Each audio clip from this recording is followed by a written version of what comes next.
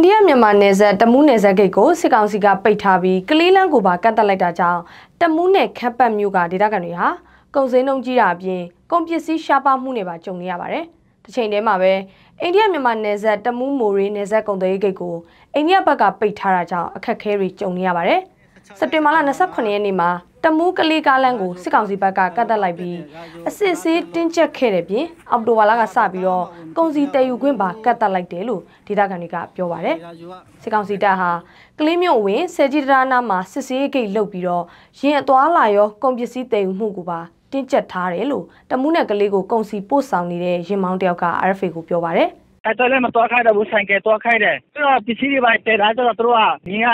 ဒီတွန်းလဲနဲ့တွင်းပြီးတော့တိတ်ခိုင်းတယ်အခုကကျတော့ဗာလဲဆိုတော့စစ်ကောင်စီဘက်ကသူတို့ရဲ့ပြည်သူတွေတွန်းလဲမတုံးခိုင်းပဲသူတို့ကတွန်းလဲလို့တယ်လေအဲ့ဒီတွန်းလဲကိုငါခိုင်းတယ်ဒီ gate ချက်ဖို့တရာဒီတရာဆက်ပဲဒီလိုချက်ဖို့ကိုသူတို့ကသူတို့ရဲ့ gate ချက်ဖို့သူတို့တွန်းလဲကိုတွန်းခေါက်ကိုတစ်ခေါက်ကို9000တောင်းတယ်သူကနော်အဲ့ဒီဂိတ်ကနေဆိုင်ကယ်နဲ့လူသွားခွင့်ရပေမဲ့ ဂိတ်ဖွင့်ချိန်ပိတ်ချိန်ကန့်သက်ထားတာကြောင့်တန်းစီပြီးစောင့်နေရတယ်လို့လုံခြုံရေးအရာအမည်မဖော်လို့တဲ့ခန့်ပတ်ဒေတာခံတယောက်က RFA ကိုပြောပါတယ်။ဆိုင်ကယ်သွားတယ်လူသွားတယ်အကန့်အသတ်ရှိတယ်သူအချိန်မွေးမသွားခိုင်းဘူးမနေ့9နိုင်မထုတ်ခင်တစ်ခေါက်သွားခိုင်းတယ်အဲ့လိုဆက်နိုင်လောက်ကျတစ်ခေါက်သွားခိုင်းတယ်ပြီး3နိုင်တစ်ခေါက်သွားခိုင်းတယ်အဲ့လိုလေလူတွေကလို့စောင့်နေတာဒီနေဆက်လိုမျိုးပေါ့နေဆက်လိုမျိုးဟိုဘက်ကမနေ့ဘက်ကပစ္စည်းကိုအခုကမပစ္စည်းတွေဂိမ်းမရှိကောင်စဂိမ်းမှာရှင်းရင်း အောက်တိုဘာလ18ရက်နေ့မနက်ကလည်းမြို့ရဲကိုအလုတ်သွားလုပ်ဖို့ဂိတ်ဖွင့်ချိန်စောင့်နေတဲ့ဒေသခံမျိုးသားတယောက်ဆယ်ကြီးဂိတ်အနီးမှာမြင်းမြုံမိုင်းနှင်းမိတာကြောင့်ဒဏ်ရာရခဲ့တယ်လို့ဆိုပါတယ်။အခုလိုကန့်သက်ပိတ်ပင်ထားတာကြောင့်ကုန်စည်နှုန်းတက်တဲ့အပြင်လုံလုံလောက်လောက်လည်းဝယ်လို့မရဘူးလို့တမူးဒေသခံတယောက်က RFA ကိုပြောပါတယ်။ကုန်စည်စည်းစိမ်မှုအချိန်မပြေတဲ့ခါကျတော့ကုန်စည်နှုန်းတွေတက်တယ်။တိုင်းတာတစ်ခုထိအာထိခိုက်မှုတော့ရှိတယ်လို့ပြောရမှာပါပဲ။ဒါကြောင့်လဲဆိုရင်ပုံမှန်နေထားမှာကုန်တွေကတိုက်တယ်လို့ သွားလာခွင့်မရှိတဲ့ခါကျတော့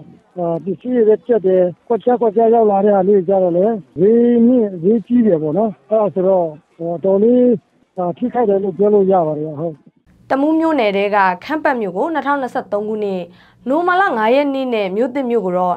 2024ခုနှစ်မေလ17ရက်နေ့မှာကာကွယ်ရေးတပ်တွေကတင်ပိုက်ခဲ့ပါတယ်။တမူးခြေဆိုင်ကာကွယ်ရေးတပ်ဖွဲ့တွေကတော့ တမူးမြို့နယ်တွေကခမ်းပတ်မြို့ကိုကာကွယ်ရေးတပ်ဖွဲ့တွေကတင်ပိုက်ထားတာကြောင့်စစ်ကောင်စီဘက်ကအခုလိုဖျက်တောက်နေတာလို့ပြောကြပါတယ်။အခုလိုကန့်သက်ထားတဲ့ပေါ်တုံ့ပြန်မှုရဖို့စစ်ကောင်စီရဲ့စကိုင်းတိုင်းပြောခွင့်ရသူ